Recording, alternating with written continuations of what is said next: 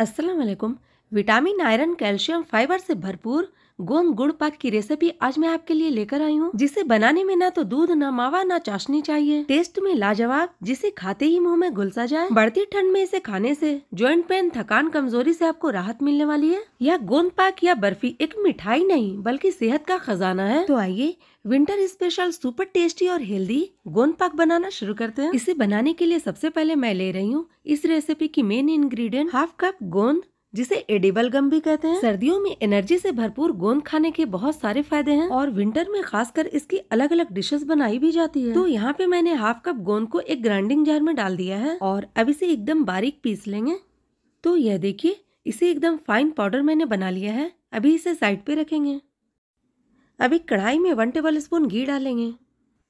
जब यह गर्म हो जाएगा तो इसमें थोड़े से ड्राई फ्रूट्स डाल देंगे। यहाँ पे मैंने थोड़े से सूखे नारियल को काट कर लिया है और थोड़े से काजू और बादाम घी के साथ हल्का सा इसे फ्राई कर लेंगे। घी के साथ हल्का सा फ्राई करने से इसका टेस्ट और बढ़ जाएगा, थोड़ा क्रंची हो जाएगा। तो यहाँ पे मैंने इसे फ्राई कर लिया है, इसे प्लेट में निकाल लेंगे। जब ठंडा हो जाएगा तो इसे भी पल्स मोड पर पीस लेंगे। लगातार इसे नहीं चलाइएगा, वरना ये ड्राई फ्रूट्स तेल छोड़ देंगे। और अब इसी कढ़ाई में सारा घी डाल देंगे, थोड़ा सा बचा लेंगे इसमें से। इस गूंद पाक को बनाने में मैंने टोटल एक कप घी का यूज़ किया है। फ्लेम लो टू मीडियम पे रखेंगे। और जब घी गर्म हो जाएगा, इसमें डालेंगे एक कटोरी या एक कप गेहूँ का आटा, जिसे हम रोज रोटी पराठे वगैरह बनाते हैं। अब इस आटे को लगातार चलाते हुए भूनेंगे।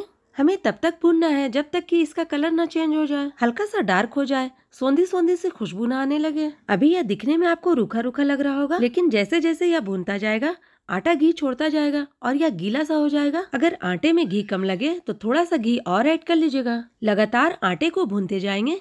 जितना बढ़िया आप धीमी आँच पे आटे को भूनेंगे, उतनी ही अच्छी गोंद की बर्फ़ी बनेगी। तो यह देखिए, आटे का कलर चेंज हो गया है। बहुत ही बढ़िया सौंधी सौंधी सी खुशबू आ रही है और इसमें से घी भी अलग हो चुका है। अब इस स्टेज पे फ्लेम एकदम लो पे कर देंगे और जो गोंद आपने पीस कर रखा है ना, उसे थोड़ा थोड़ा इसमें डालते जाएँगे और इसे मिलाते जाएँगे। जैसे ही आप इसमें गोंद डालेंगे इसमें बबल्स बनने लगे गरम आटे के साथ गोंद फूलने लगेगा। गोंद को अलग से फ्राई करने की ज़रूरत ही नहीं है, या आटे के साथ अच्छी तरह फ्राई हो जाएगा। गोंद मिलाने के बाद आटे का टेक्सचर पूरा चेंज हो चुका है।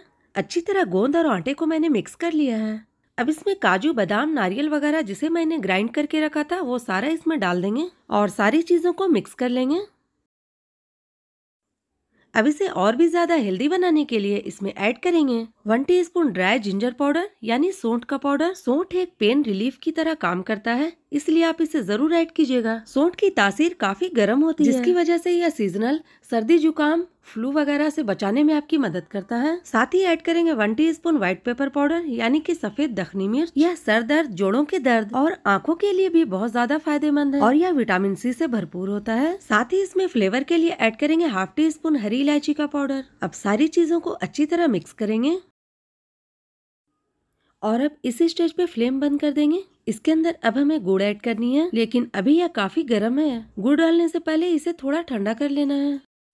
जब तक यह थोड़ा ठंडा हो रहा है, इस बर्फ़ी को सेट करने के लिए बर्फ़ी ट्रे या फिर इस तरह किसी भी स्टील की प्लेट में जो घी मैंने बचा कर रखा था ना, उसे डालकर अच्छी तरह ग्रीस कर लेंगे। जिस कप या कटोरी से आपने आटा लिया है, उसी कप या कटोरी से आपको गुड़ लेना है। यहाँ पे गुड़ को मैंने चाकू से पतला पतला काट लिया है। गुड़ डालकर इसे अच्छी तरह मिलाएँगे। ध्यान रखिएगा, इसे पूरा ठंडा नहीं करना है, वरना गुड़ मेल्ट नहीं होगा। यह इतना गर्म है कि गुड़ इसमें अच्छे से मिक्स हो जाएगी। अच्छी तरह मिलाने के बाद इसे ग्रीस की हुई प्लेट में निकाल लेंगे। अभी आपको दिखने में बिखरा बिखरा सा लग रहा होगा, लेकिन बहुत ही अच्छे से बर्फ़ी सेट हो जाएगी। इस तरह दबाते हुए स्प्रेड करेंगे। या फिर इस तरह की कोई स्टील की कटोरी से दबाते हुए अच्छी तरह सेट कर लीजिए। सर्दियों में इस तरह गुड़ से बनी मिठाइयाँ बहुत ही फ़ायदेमंद होती हैं, क्योंकि गुड़ में ढेर सारा आयरन और फाइबर होता है। आप अपने हिसाब से इसमें कट के निशान लगा दीजिए। मैंने डायमंड शेप में कट लगाया है। अभी यह गर्म है। इसे थोड़ी देर छोड़ देंगे, जिससे यह अच्छी तरह सेट हो जाएगा।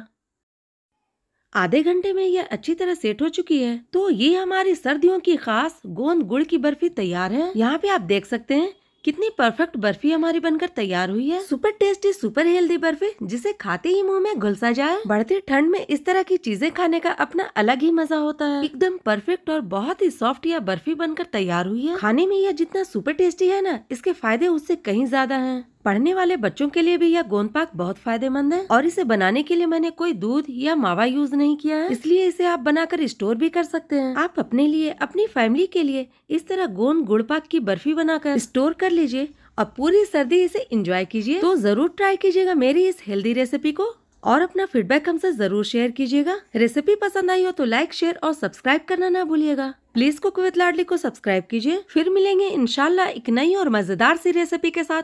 Thanks for watching my video Allah Hafiz